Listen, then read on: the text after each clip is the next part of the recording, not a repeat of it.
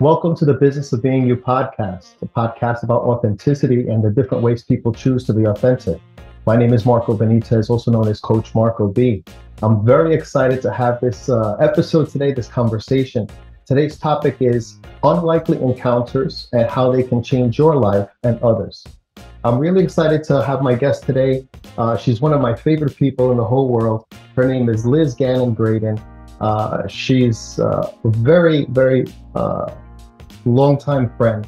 Uh, I'll tell you a little bit about her. So, Liz Gannon Gradon is co founder and president of What Better Looks Like, a nonprofit organization that taps into the creative potential of people to help solve problems in their local communities.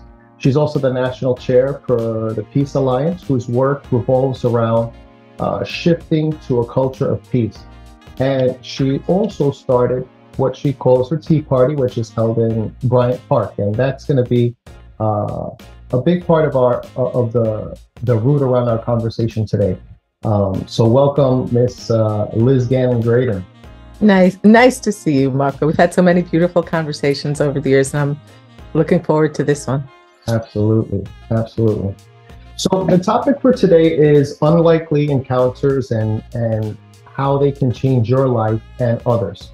And yeah. we ran into each other after many years uh, maybe about a year or two ago at a cafe, and you were sharing what you were doing with the, right. the Tea Party. Um, it just seems like such a simple thing to do, but in today's society and and especially in New York, it's such an uncommon thing to do.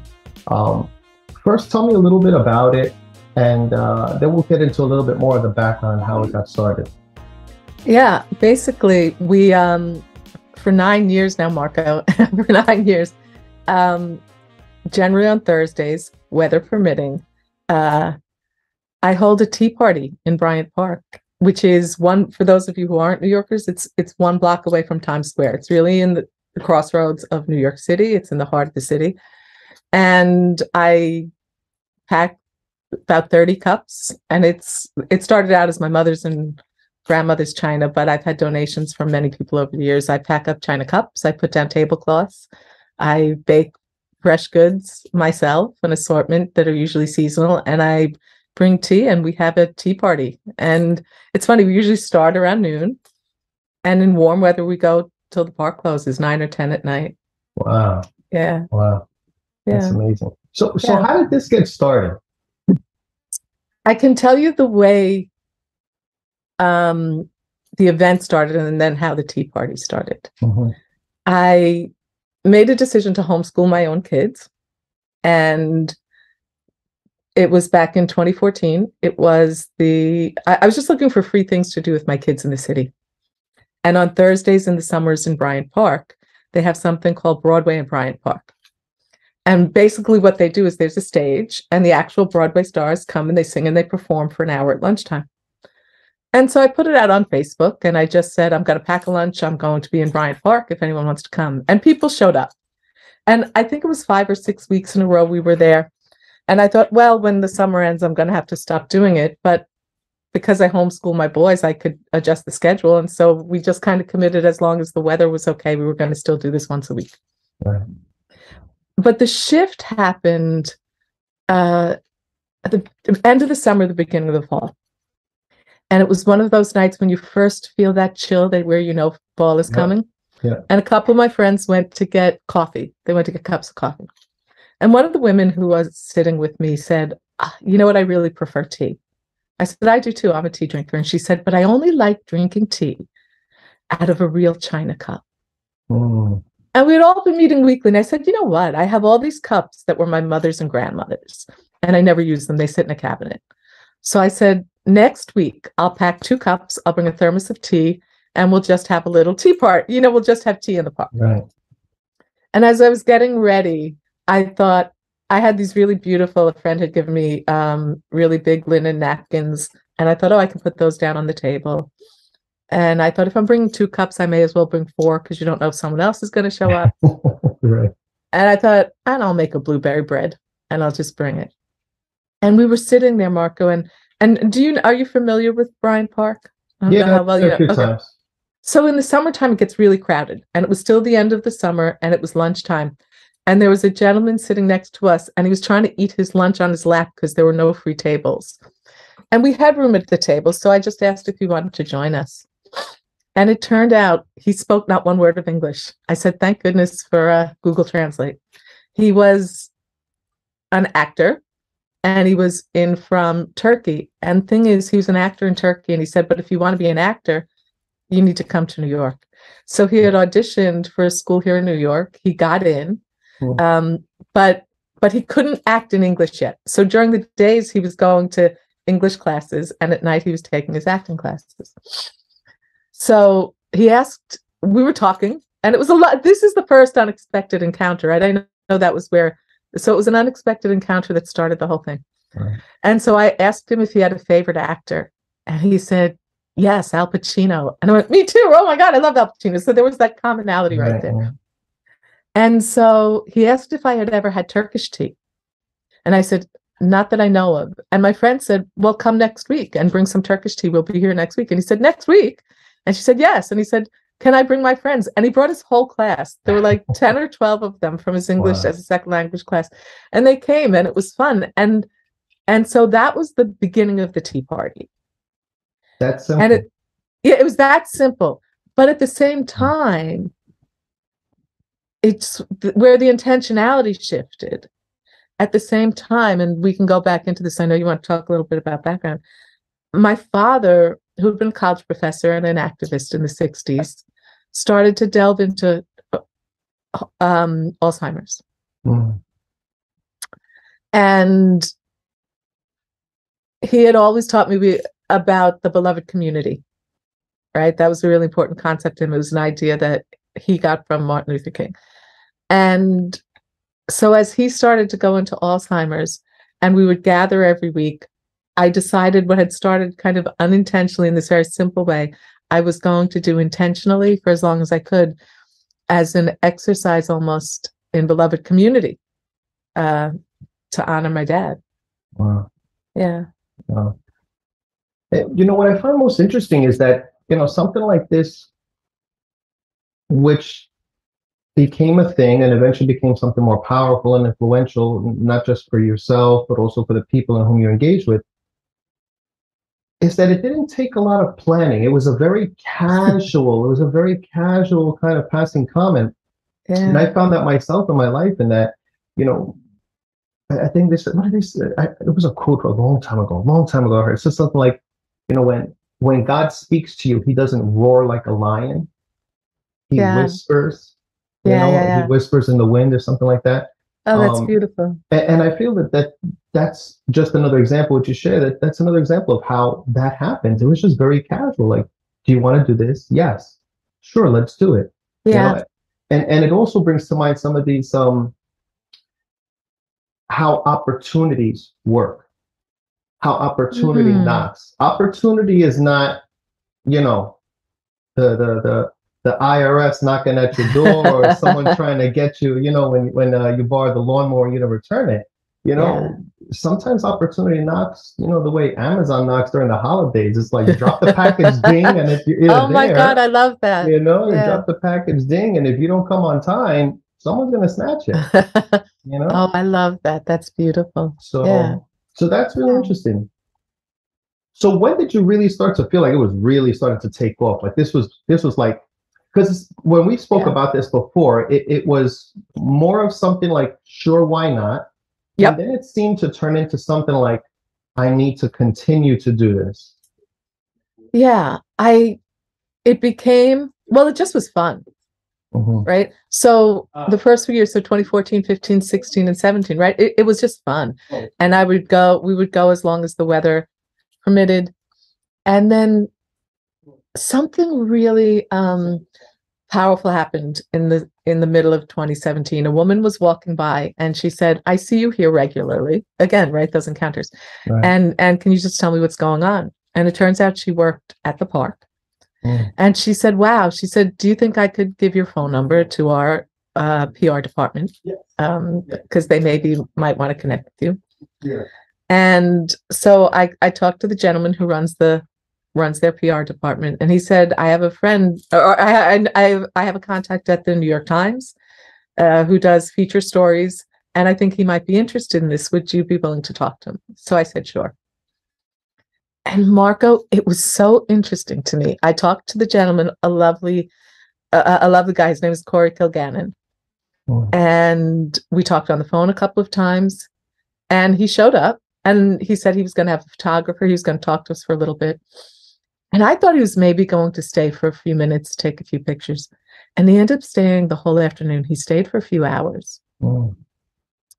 And it was in October. It was in October of 2017. And he said he would let me know when they were publishing it.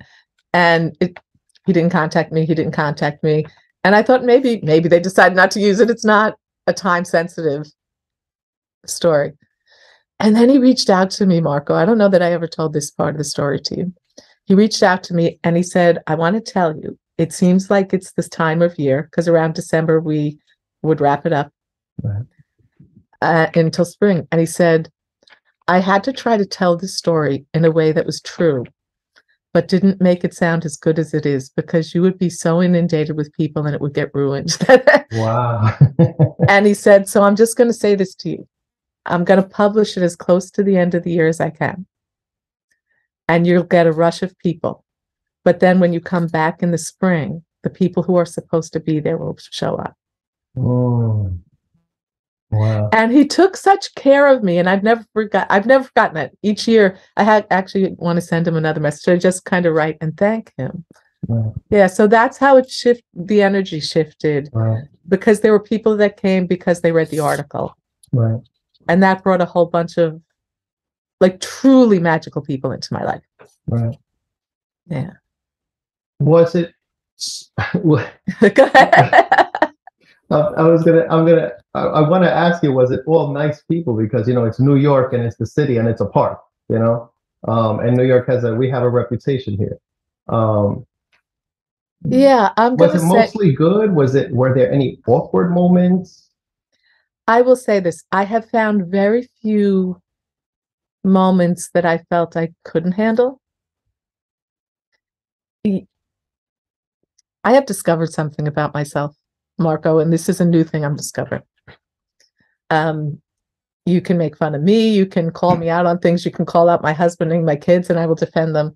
But there's one thing that I get really defensive about, and it's New York. I'm a lifelong New Yorker, right? Born and raised in New York. And I, yes, there are when people hear about New York, and it's the center of New York, right? Mm-hmm. Yep. And and um, but New Yorkers really are beautiful people. That's my experience of New yep. Yorkers. Mm-hmm. And so what I find is we sit in a little area, and if you don't know us, you might not know you were supposed to be included. So a lot of people walk by, and the only kind of rule I have, there aren't any rules, is if you smile, if you acknowledge us, I invite you to sit down. Right. And that's everybody, everybody who walks by. And the thing is, you mostly don't know. Have there been times when there were people um, that I felt I needed to guide one way or another? Yes. People who I thought maybe were a little, I don't want to say dangerous. I never felt in danger, but people that felt a little less stable right right i right. would i would sometimes invite them to sit at my end of the table and offer them a cup of tea and then guide them on their way. Right. I mean there are people and and i'll be honest right people talk about post covid mm-hmm. um, for one year we didn't do the, the park. That one summer we didn't do the park. We did it on zoom with some regulars. Oh interesting. But each year we've gotten at least some in person. Right and and there's definitely a feeling of unease more mm. in the city. That is the reality. Right. Um my dad gave me a gift when i was nine years old marco he was taking me to the to the madison square garden for the horse show right. In the city and he he taught in manhattan. And so it was only me. He was taking me in for my birthday so it was just none of my siblings were there. It was myself and him on the Long Island Railroad into Penn Station. And when we got there, it was really scary, right? Because there's the rush of people on the platform, and I'm holding my dad's hand. And he said, We can just wait till everyone goes. And then we were walking gently through Penn Station.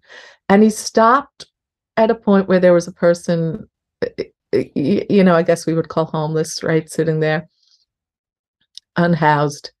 And my father walked up to him and he had money in his hand, but he did something that I didn't realize till later was was unique.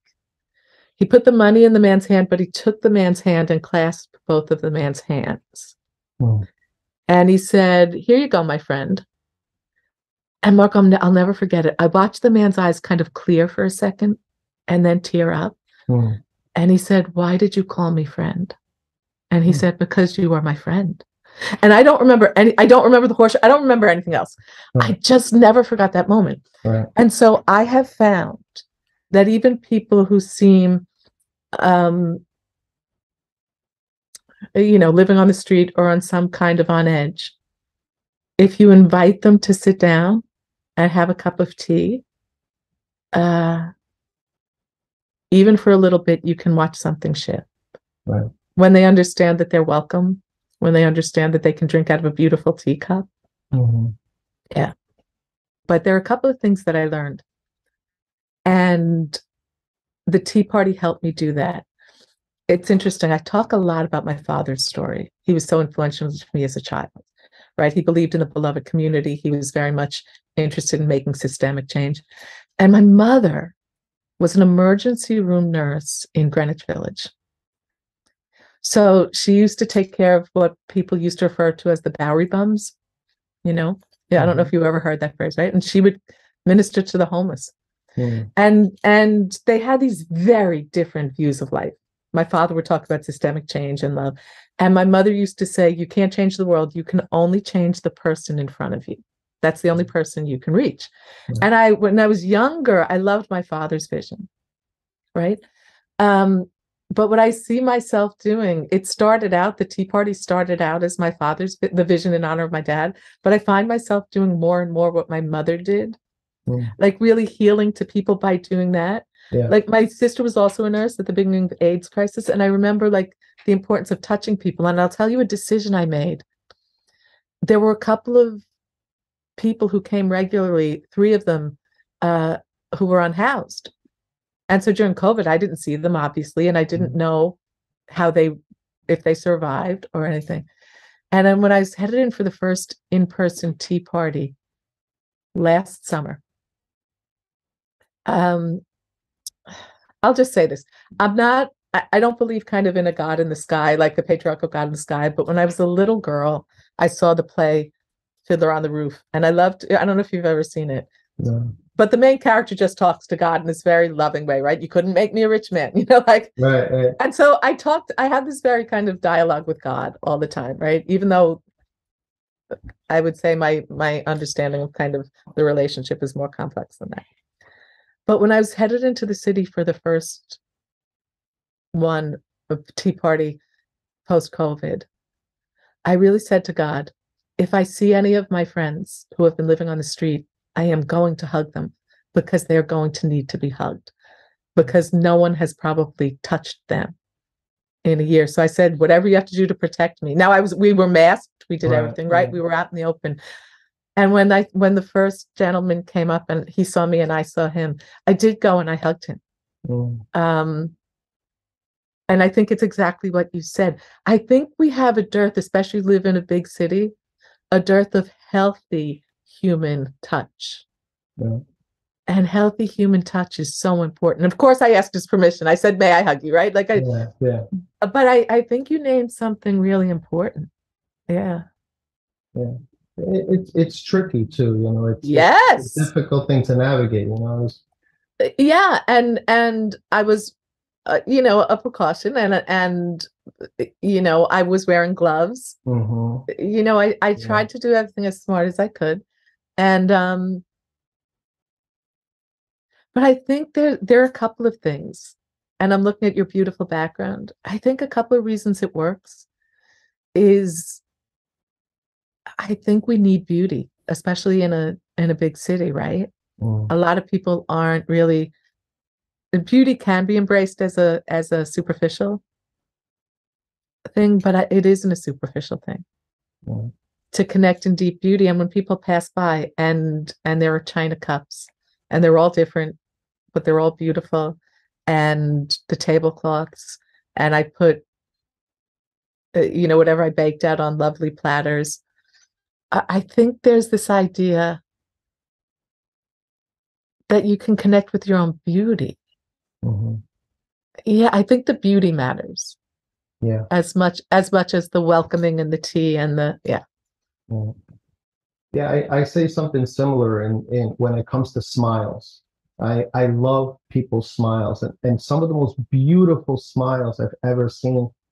These people do not have nice teeth. Some these people sometimes don't even have more than three teeth, you know, but it, it, a smile is much more than than than the teeth. The smile is it, it's it's the eyes, and it's more than anything else. It's the it's the energy. Yeah, you know, it's the energy. It's it's how it's conveyed. You know, and and I think that's similar to to what you're saying. I was going to say, I think the other thing that intrigues people before they know that everyone is invited in is if you take a look at the table, they're trying to figure out what all those people are doing at the same table. because right. it's people of very different ages, it's people of very different obvious and visually, right? Socioeconomic, yeah. different ethnicities. And, and I think when you see us all, I think people stop and stare first because they're trying to say what has all these people in common. And we do have regulars. There are about 15 to 20 people who show up regularly. But there's every week there are people who just drop by and maybe have only ever been there once. Mm. Yeah.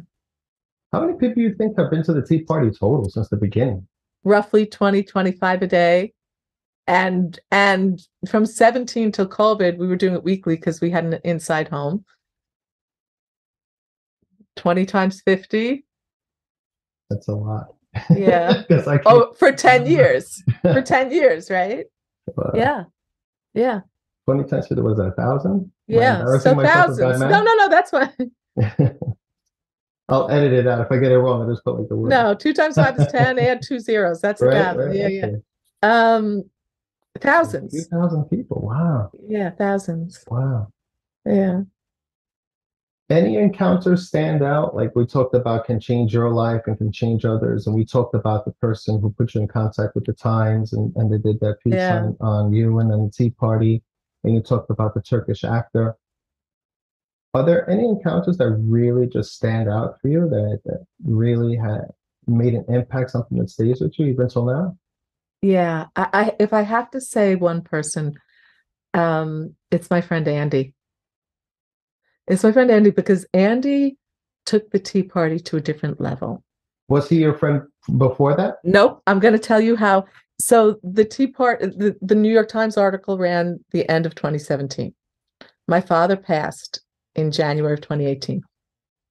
And so March, I, I, always, you know, before we had a winter home and and I don't, we're not doing indoor events during COVID, so it will be, we'll take that kind of January off. And I say that first 50 degree day in March, I'm at the Tea Party, right? So it was March of 2018, we started back up again, but in June of 2018, someone walked up to me with this giant Tea Party hat made of paper. It was huge, it was beautiful. And he said, I found you. And I said, Do I know you? and he said, No. But I read the New York Times article and I thought I saw a kindred spirit. So I took a chance to come by. And I sat with Andy, and he had lost his mom the same month that I'd lost my dad. So we were just talking and serving tea, and he was mostly observing. And Andy gave me, he was the one that coined the term beloved community, TEA. Mm. He's an artist. And he did this thing that he thought that I would appreciate because it was a similar thing. Every year, Andy, he reclaims literal garbage, right? He'll, he'll, he'll he dumpster dives and will take out things that have been discarded paper and and high-end fashion bags and and different things right. and he turns them into hats and when i say hats i'm talking about fancy beautiful hats and during the for for 15 or 16 years i may get that wrong he would spend the whole year making hundreds and hundreds and hundreds of hats and we keep them in the storage little space in the basement of his tiny apartment and at on easter every year he would go to Fifth Avenue with um do you know when you have um in stores they have the racks where they move clothing Mm-hmm, mm-hmm. Yep. he would have racks and racks with these hats hanging Right. and he would just pass them out to anyone who came to the easter parade for free and they Oh, were wow. works of art i mean br- beautiful brilliant works of art and he said i do it once a year and i just spend my time just connecting with people and i spend all day easter kind of connecting with the public and in this joyful exchange and he said Mm. and when i read that you do this every week i wanted to know you Mm. and and he gave me a metaphor marco and he was the one that really said no we have to keep this going all year. And he had worked at bank of america which is right across the street from bryant park. And he said you know there's an atrium there so we can go there when it's raining but it's not heated. And then over the skating rink in bryant park was a heated place that's now not open to the public. And he went about really tending to the tea party in Mm. a way that I didn't feel like it was me running this thing, that it was he was the person that made me understand that although I showed up with the tea, the plates, the cup, and everything, that there was nothing about it that was about me. That was when we shifted to being a real community. right. And there were a bunch of people that came because of the New York Times article. The ones that stayed, uh, Corey Kilgannon was exactly right, were the ones who came for the right reason. They were seeking that type of community in a city that can seem so unfriendly. Mm. And and that core of people are kind of the ones that are still we call ourselves the regulars, right? Right. And one was a tour guide. He's a tour guide. He, he's a uh, bus tour guide in New York, and and so, but it was Andy who who said that I, and I started to think about when I do work, right? And you see this too. You and I have talked about this. The people you deal with, or not deal with, the people you I'm going to say minister to. That's kind of my language. Mhm. Some of them have been or felt discarded, right? The Mhm. or or not seen or not loved. And I got this powerful metaphor, Marco. He literally goes around, and there was one time. Do you know cash register receipt tape rolls? Yep. Yep. He just found that someone had just thrown those out. They hadn't been used. They were still in plastic. He took a bunch of those. He feathered them and made this hat that looks like this glory. I, I- mean, he would take these things that other people had discarded and turn them into things of beauties that you thought, why aren't we always like this? Right. And I thought that's what I want to do with what better looks like. The people, like with my work, I mm-hmm. want to look at either people, systems, things that either have been discarded or should be discarded, and transform them mm-hmm. in ways that make them so much more beautiful and powerful, and the vision of how we want to be living. That we wonder, why don't we always do that? Why haven't we mm-hmm. always done it this way? Yeah. So I would say I mean, so many magical ones, but Andy's the one that probably shifted us most to the intentionality of community. Right. Yeah. Is there any place or any thoughts of combining the the tea party with the other peace work you do? I mean, because just in the way you're describing it now, I mean, it this is it, it this this is something that the concept can be shared in other cities. Yes. This this could be the TED talk of the peace community. Has there has there ever been any interest in other people doing this in, in other places in other cities? Yeah, i- it is interesting. I'm think I think about this a lot. I think about this a lot. It's funny. I was just invited through What Better Looks Like to do a workshop that I do with the Girl Scouts, and the woman who was doing the program, I know her, her the, her boss, I guess is her, and she said, "Ask Liz about the Tea Party," and I told her, and I was doing two different storytelling programs with the Girl Scouts, one with five to seven year olds and one with nine to twelve year olds.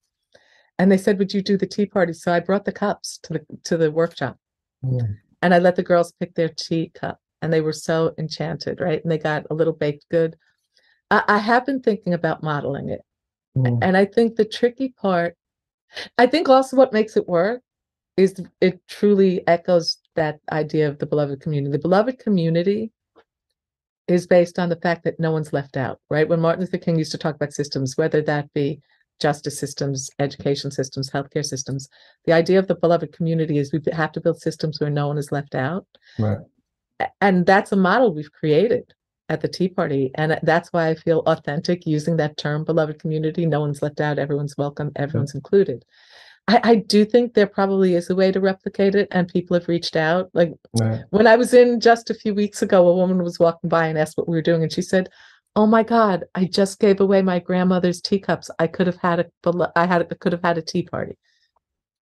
Wow. so i think seeds get planted. Yeah um yeah, yeah I, you know, I got a lot of time left. I think we'll probably figure that out. and I do think I do try to weave both yeah. the work with the Peace Alliance, my own work with what better looks like, and yeah. and the Tea Party as I don't see them as separate.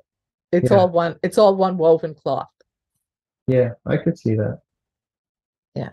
So when you think back about now that we know that's thousands of people, was there anyone? I mean, you, you also spoke about Andy and how he had been looking for you, but are there any other encounters that you had with someone where they really where they reached out to you and they really expressed gratitude or this is something that they needed or something that changed them or connected them in some way?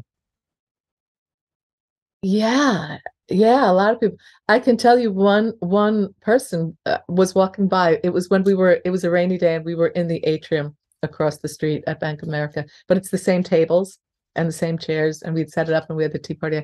And a woman just looked through the glass and she had a friend with her and um and she walked in and she said i just wanted to say how lovely those teacups are.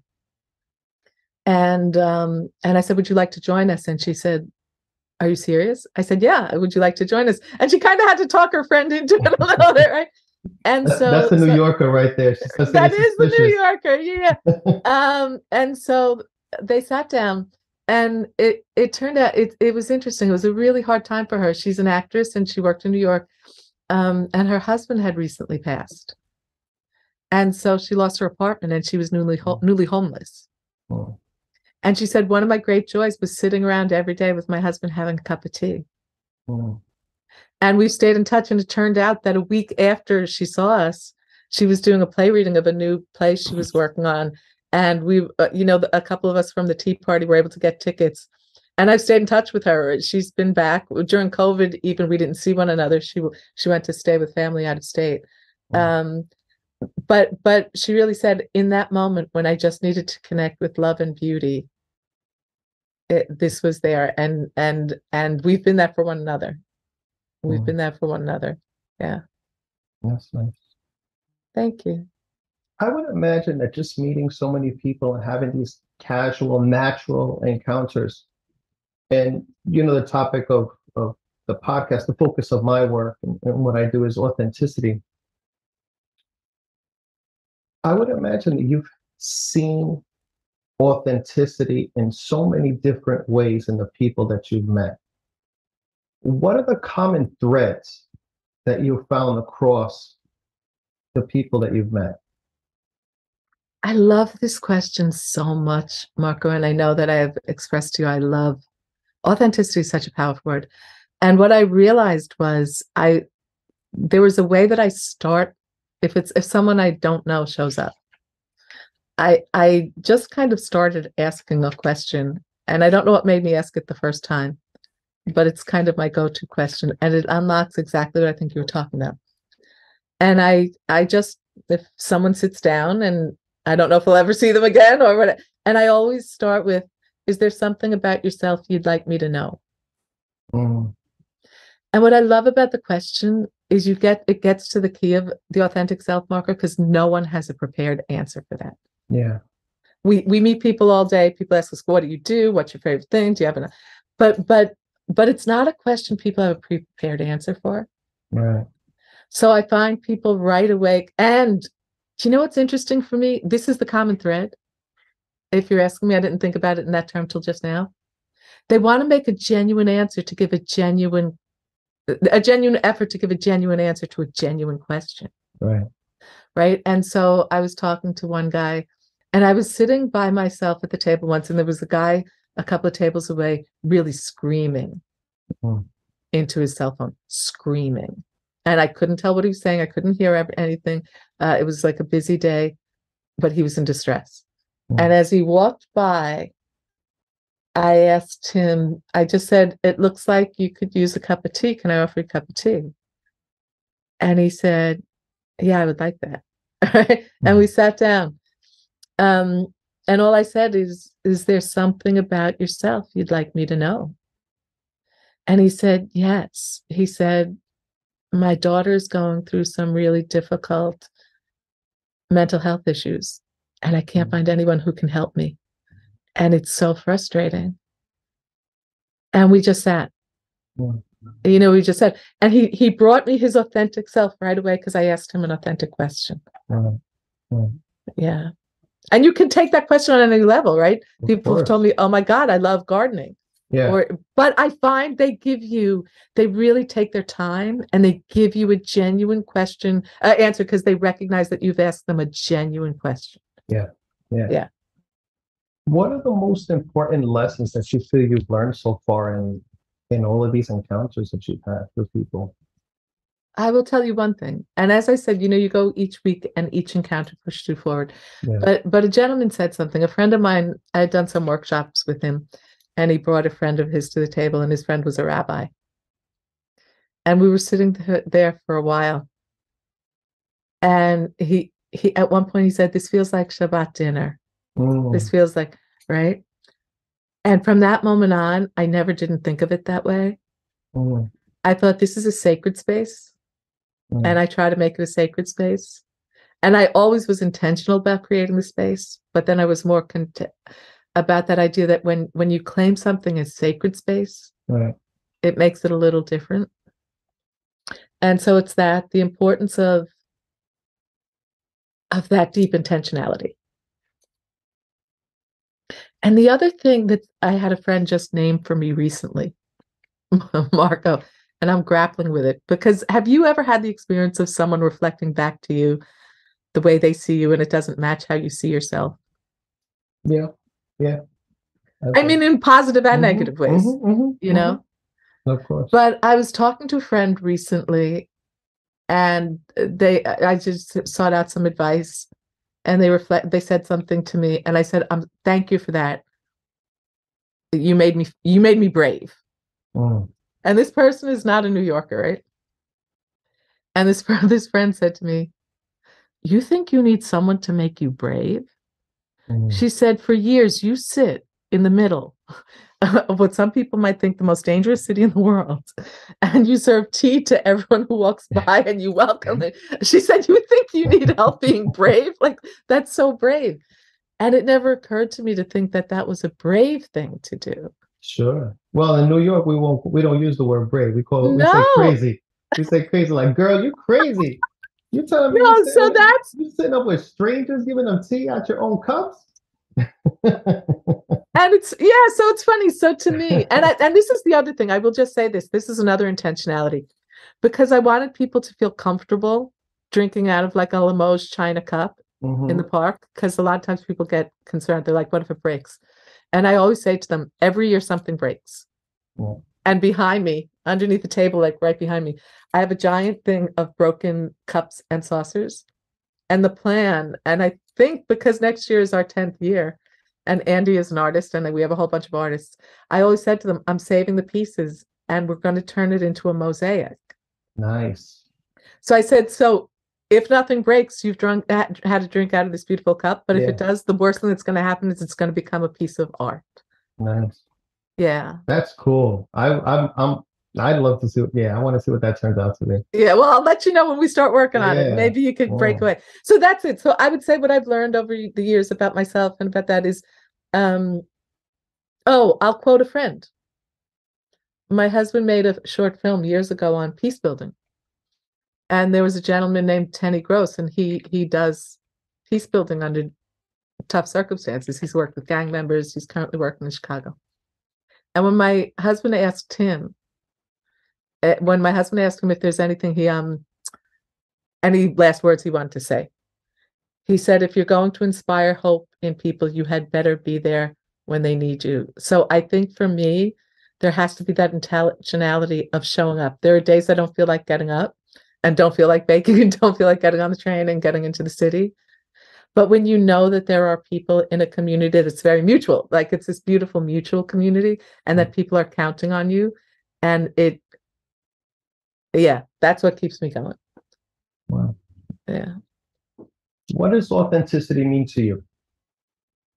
For me, Marco, what I've come to understand about myself, I feel like every two year old comes to you with who they are, right? And and a friend and a friend recently said that other people put masks on you. It's not necessarily that you put masks on yourself, right? That we we yeah. build these things. And then I think we spend a lot of time trying to get back to who we knew we were when we were two. Right. And so for me, authenticity is when you strip away everything that isn't who or what you came to the planet to be. And I and we could name it. I'll give you a true example. When I started doing what better looks like, uh, when we built up the tenets, one of the ideas came from my husband, and he said he felt everyone came to the planet to be a healer, an artist, or a teacher, or some combination of the three. Right? I think of the acronym HAT: healer, artist, teacher. Okay. Yeah. So in that work, I ask people really one of the workshops revolves around asking people, what do you think you're here to heal, create, or teach? Mm. Right. And when I started this work, my boys who are now 23 and 20, almost 21, were five and eight. And I asked my eight year old, What do you think you came to heal, create, or teach? And he said, I came to heal anger. There are too many angry people on this planet. Mm. And my five year old said, I came to teach people we have to stop killing gorillas. And I don't know why that mattered to him so much. Right. But we all know that when you talk to a two year old, they are authentically themselves. And for me, authenticity is just remembering who we were when we were two. Yeah. Yeah.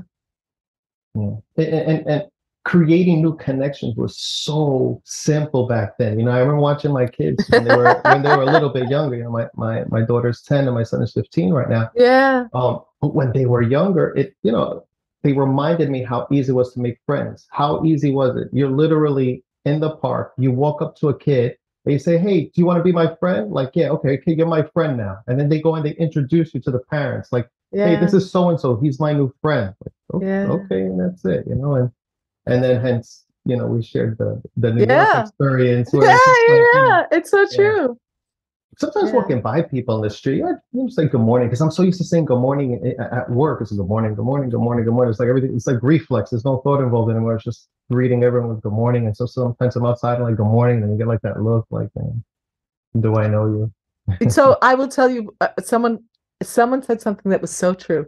It was a person who only attended one tea party, and he was from the south. Mm. And we were sitting there and we were having this lovely conversation, and he was living in the north now and he said and i was i was talking about that idea that people have this idea of what new yorkers are and and who we are and i said i i think we're busy and new york is difficult citizenry right because it's crowded and people rush by you it's exactly what you said and he said what i find in new york is if i'm on the subway and i'm carrying seven bags and i get to the bottom of the steps and i'm struggling Six people will grab my bags, walk them to the top of the steps, put them down. They don't want to know how my day is. They don't ask me about my aunt, but they'll carry the bags up the steps. Yeah, yeah, yeah. He said, Where I'm from, if I'm walking around carrying seven bags, someone might come up to me and say, How you doing, honey? And I'll say, Well, I'm carrying these seven bags. And they'll say, Yeah, you are, and walk away. and that rings true for me. And I'm not saying that as the generation. Yeah. I love everybody. But New Yorkers, I feel like if you can get us to slow down enough, and that's the beauty of the Tea Party. If you can get us to slow down enough, we can be human to one another. Yeah. Yeah. Yeah. Yeah. But, but that's the key. And that's why I said I think if I was handing out tea in paper cups, it wouldn't be the same. Yeah. You have to slow down enough to sit at the tea party. Yeah, yeah uh, this is the best place to do a tea party. It's, it's, so, it's which it's it's New York is just like that. It's, I mean, I love New York. I can't imagine myself living anywhere else. It's a love hate relationship. without a doubt. love without a doubt. You know, and like it's you, hard. You have your bad days, and you're just like, I'm gonna, you know, at this place, I'm gonna leave. You're like, uh, you're able to go to a store at 10 o'clock at night. You know, it's like, all right, yeah. gonna, I'll, I'll, stick around for a little bit longer. and then you deal, you find things you come across unexpectedly. You know, things like yeah. the tea party when you're in the train station, the live music. You know. Um, people outside that just put the radio on. Now it's on their cell phones. People just start dancing in the street. Yeah, yeah. That's my people. That that's it. It comes down to that, like exactly kind of the theme of the talk, right? What are the unexpected encounters? Yeah. Because where I live now, I live on Long Island, and everyone gets in their car in their drive when they drive wherever they're going and you don't have as many unexpected encounters it, mm-hmm. that is the beauty it's exactly what you named as the theme of the talk right yeah. you have so many unexpected encounters in new york and it's kind of how you especially if you sit there on purpose and just say yeah i'm here yeah yeah, and to people watching or listening to this who are not from New York, it ain't bad here. it's like every place else. You know, you gotta use your, you, gotta be smart about it. You know, you do. Yeah, you gotta you gotta lock your doors out here. But yes, that's we, that we do. Yeah, we do. but it's a beautiful thing. Yeah. So, um, what do you want to share? One final message, and then I want you to tell us a little bit about how people can get in sure. contact with you, or maybe to to donate to the Tea Party or the work that you do, or to find out more about the Peace Projects.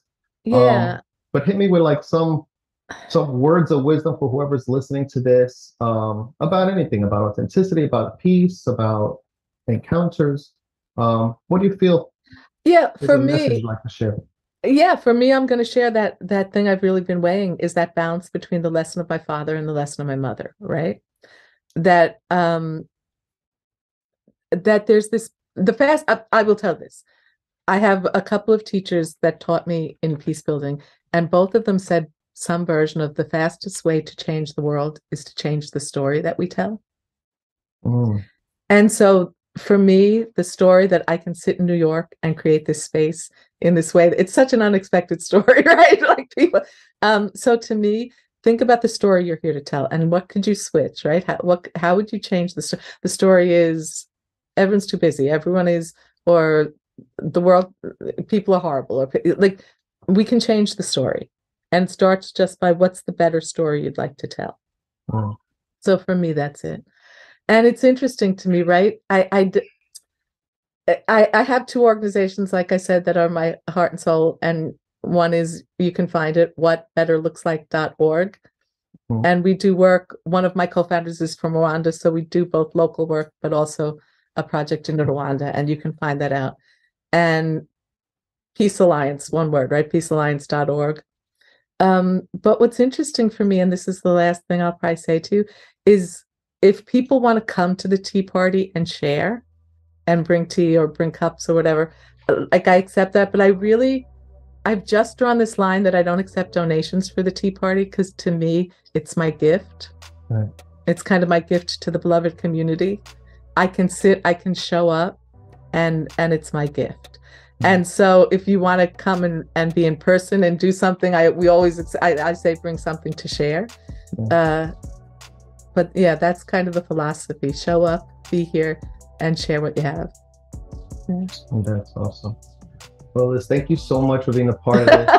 I'm so always, grateful. I know it's always so beautiful talking to you, and, and yeah, we, have had coffee and tea. Um, we sure not, at the, not at the tea party, but we, we've no, had no. coffee and tea a few times. Yeah, yeah, and, and, and our conversation's always great, and and yeah, uh, I'm so grateful to you and appreciative to you. Oh, um, back at you. And uh, yeah, so uh, yeah, that that's our episode for today. I really hope you enjoyed this uh, conversation, that you found it enlightening, and it encourages you to go out and to just start a conversation with someone as long as you feel comfortable and safe with it um, and do something that's pretty neutral you know like uh, offer someone a cup of tea uh, or just a simple good morning or hello uh, yeah. So once again, my name is Marco Benitez, also known as Coach Marco B. I'm an authenticity coach, and I help people to live unapologetically the, themselves the way they want to, to feel okay with the things that they want, so they can reduce their stress and live a life that's inspiring to them and others. Uh, so I'll leave you with the quote of Jim Carrey, which is You could fail at something you don't want, so you might as well take a chance at something you love. And remember to mind your business, the business of being you. I love it. Take care.